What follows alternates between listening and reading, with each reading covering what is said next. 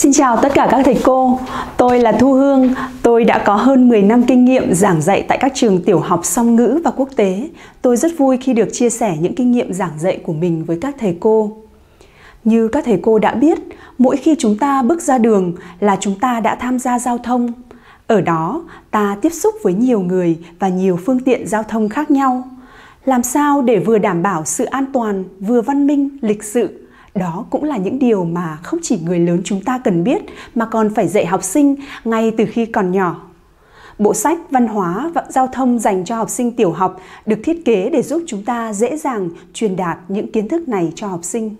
Bộ sách này bao gồm 5 chủ đề xuyên suốt 5 lớp của cấp tiểu học, chấp hành luật và đảm bảo an toàn khi tham gia giao thông văn minh lịch sự khi tham gia giao thông ứng xử khi xảy ra va chạm giao thông ý thức trách nhiệm với an toàn giao thông giữ gìn môi trường giao thông an toàn sạch đẹp như vậy, bộ sách không chỉ giúp học sinh tiểu học nâng cao hiểu biết về luật giao thông, chấp hành đúng luật mà còn hướng đến việc rèn luyện cho các con thói quen ứng xử có văn hóa khi tham gia giao thông.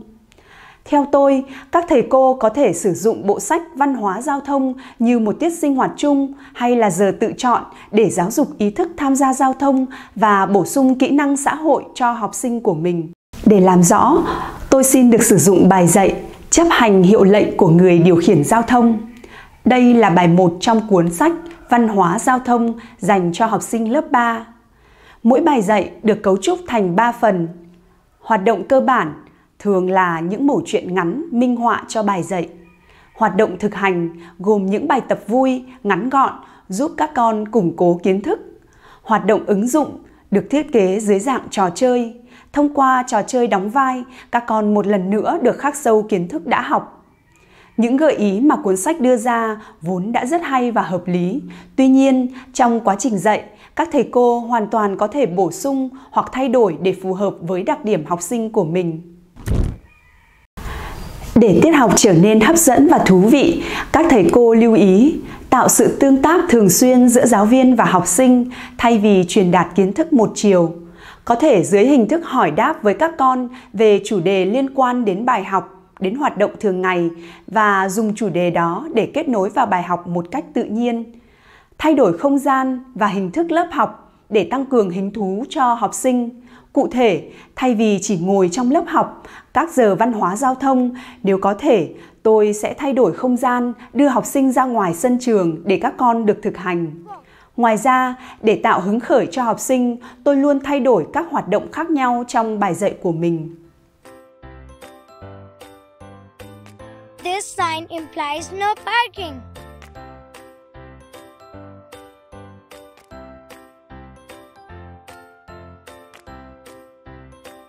This limits the speed to 20. Và sau đây tôi sẽ có phần minh họa về cách thức tôi triển khai các hoạt động để các thầy cô được rõ hơn. Đầu tiên, để tạo sự hào hứng và thu hút sự tập trung, tôi thường sử dụng một đoạn clip có chủ đề liên quan hoặc đưa ra một câu hỏi để học sinh chia sẻ ý kiến cá nhân. Với bài học này, ta có thể đặt một câu hỏi ngắn gọn như sau. Hàng ngày, các con thường tới trường bằng phương tiện giao thông nào? Sau khi cho học sinh chia sẻ ý kiến khoảng 3 đến 5 phút, tôi giới thiệu bài học. Cô thấy rằng có những bạn trong lớp mình đã là những người trực tiếp điều khiển phương tiện như xe đạp khi tham gia giao thông đấy. Vậy làm thế nào để chúng ta có thể tham gia giao thông một cách an toàn, đúng luật lệ? Chúng mình sẽ cùng nhau chia sẻ ý kiến trong bài học ngày hôm nay nhé. Sau khi giới thiệu cho học sinh chủ đề bài học, tôi sẽ bắt đầu với hoạt động cơ bản của tiết học. Tôi sẽ kể cho học sinh nghe một câu chuyện. Vừa kể, tôi vừa lồng ghép, đặt câu hỏi để các con cảm thấy hào hứng hơn. Cuối cùng, tôi sử dụng slide PowerPoint để tổng hợp lại kiến thức trọng tâm của câu chuyện.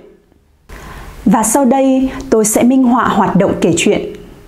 Câu chuyện Người điều khiển giao thông Chiều tan học, Sơn được ba đón về Giờ tan tầm, xe cộ đông đúc. Đến ngã tư, không có tín hiệu đèn giao thông, nhưng Sơn thấy ba và mọi người đi cùng chiều đều dừng xe lại trước vạch rừng. Thấy lạ, Sơn hỏi, ba ơi, không có tín hiệu đèn đỏ, sao mọi người đều dừng xe ạ? À? Kể đến đây, tôi dừng lại cho học một vài học sinh nêu ý kiến của mình. Theo con, tại sao không có tín hiệu đèn đỏ mà mọi người đều dừng xe lại? Tôi kể tiếp, ngoài tín hiệu đèn giao thông, người tham gia giao thông phải chấp hành hiệu lệnh của người điều khiển giao thông nữa con ạ. À. Ba Sơn trả lời. Theo hướng ba chỉ, Sơn nhìn thấy một chú cảnh sát giao thông mặc cảnh phục, đứng trên một bục tròn ở giữa ngã tư đường. Sơn nói tiếp, chỉ có cảnh sát giao thông mới được điều khiển giao thông ba nhỉ? Theo các con, điều Sơn nói có đúng không? Tôi dừng lại ở đây để học sinh được thể hiện ý kiến của mình. Tôi kể tiếp. Ba Sơn cười, không phải đâu con ạ, à, còn có những người khác được giao nhiệm vụ hướng dẫn giao thông. Khi hướng dẫn giao thông, họ phải mang băng đỏ rộng 10cm ở khoảng giữa cánh tay phải. Kể tới đây, tôi lại tiếp tục đặt câu hỏi và mời học sinh chia sẻ ý kiến của mình. Theo các con, người điều khiển giao thông thường dùng phương tiện gì để hỗ trợ ra hiệu lệnh? Và giáo viên lại tiếp tục kể câu chuyện của mình. Ba giải thích, người điều khiển giao thông thường dùng tay, còi, cờ hoặc gậy chỉ huy giao thông để ra hiệu lệnh. Vậy là quãng đường từ trường về nhà, bà đã giúp Sơn hiểu rất nhiều điều bổ ích. Cứ như vậy, tôi vừa lồng ghép kể chuyện cho các con, vừa đặt câu hỏi để các con cảm thấy hào hứng hơn. Việc đưa ra câu trả lời là một cách giúp các con mạnh dạn bày tỏ ý kiến, hiểu biết cá nhân của mình, hoặc cũng giúp các con dự đoán tình huống hoặc vấn đề sẽ xảy ra tiếp theo. Để giúp phần kể chuyện hấp dẫn hơn, các thầy cô có thể tìm những hình ảnh minh họa cho câu chuyện. Việc sử dụng thêm cả kênh hình sẽ giúp học sinh ghi nhớ kiến thức tốt hơn. Sau khi các con đã nắm được nội dung bài học ở hoạt động cơ bản thì hoạt động tiếp theo sẽ giúp các con thực hành những kiến thức vừa được học. Trong hoạt động này, tôi sẽ tổ chức cho học sinh được làm việc nhóm. Các con sẽ làm việc nhóm 4 trong thời gian 5 phút để cùng thảo luận về ý nghĩa các hiệu lệnh của người điều khiển giao thông. Sau khi cho học sinh được hoạt động nhóm để tìm hiểu trước, tôi sẽ tổ chức cho học sinh chơi trò chơi ghép nhanh, ghép chuẩn để thực hành thêm. Tôi sẽ chuẩn bị in sẵn các bức ảnh và băng giấy, sau đó mời hai đội chơi lên thi ghép nhanh, ghép chuẩn. Mỗi đội sẽ nhận được 3 đến 4 bức tranh. Cuối cùng, tôi sẽ chốt lại đáp án đúng và tổng kết lại kết quả của trò chơi. Các thầy cô lưu ý, việc hiểu và ghi nhớ được tín hiệu của người điều khiển giao thông là một việc tương đối khó với học sinh. Do đó, các thầy cô cần dành thời gian cho học sinh thảo luận và trong khi học sinh thảo luận, các thầy cô nên đi quanh lớp để quan sát và hỗ trợ. Lưu ý thứ hai, nội dung hình ảnh và băng giấy đã có sẵn trong hoạt động 2 của cuốn sách – Tuy nhiên, chúng ta có thể tìm thêm những hình ảnh minh họa trên các trang web để bức ảnh có thể rõ nét và thú vị hơn. Đến với hoạt động 3, hoạt động ứng dụng. Để thay đổi trạng thái học tập, tôi sẽ đưa các con ra sân trường rộng để cùng chơi trò chơi. Con là người điều khiển giao thông. Cách chơi trò chơi này như sau. Học sinh đóng vai người điều khiển giao thông, đeo băng đỏ, đứng ở giữa và đưa ra các hiệu lệnh.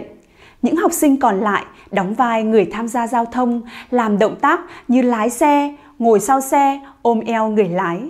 Người tham gia giao thông phải chấp hành hiệu lệnh của người điều khiển giao thông. Người nào làm sai và vi phạm phải dừng cuộc chơi. Trò chơi này mang lại lợi ích như sau. Khi được thay đổi không gian lớp học, các con sẽ cảm thấy hứng thú tham gia vào hoạt động và ghi nhớ kiến thức tốt hơn. Các thầy cô lưu ý, đây là hoạt động ngoài trời, các thầy cô cần cân nhắc yếu tố thời tiết và không gian. Ngoài ra, chúng ta cần chuẩn bị đầy đủ các đạo cụ trước tiết học và cân đối về mặt thời gian, vì hoạt động này cần nhiều thời gian để các con di chuyển và ổn định tổ chức. Để phục vụ việc học tập lâu dài, nhà trường có thể dành một khoảng sân để xây dựng mô hình giao thông gồm đèn giao thông, vạch kẻ đường, biển báo, Điều này sẽ giúp thầy cô tiết kiệm được nhiều thời gian trong khâu chuẩn bị. Thầy cô thân mến, như vậy là chúng ta đã kết thúc tiết học đầu tiên với cuốn Văn hóa giao thông dành cho học sinh tiểu học. Như tôi đã chia sẻ, để bài dạy hiệu quả hơn, chúng ta nên ghi nhớ các từ khóa sau. Thứ nhất, tăng cường tương tác. Thứ hai, thay đổi không gian và hình thức học tập. Những chia sẻ này mang tính chất gợi ý, giúp việc truyền tải kiến thức trở nên dễ dàng và sinh động hơn. Tôi tin rằng bằng sự đam mê và sáng tạo, các thầy cô có thể hô biến những trang sách bình thường trở thành những bài học hay và thu hút học sinh. Tôi sẽ còn đồng hành cùng các thầy cô ở tiết học thứ hai để chia sẻ những kinh nghiệm, hiểu biết cá nhân của mình. Hẹn gặp lại các thầy cô! Oh.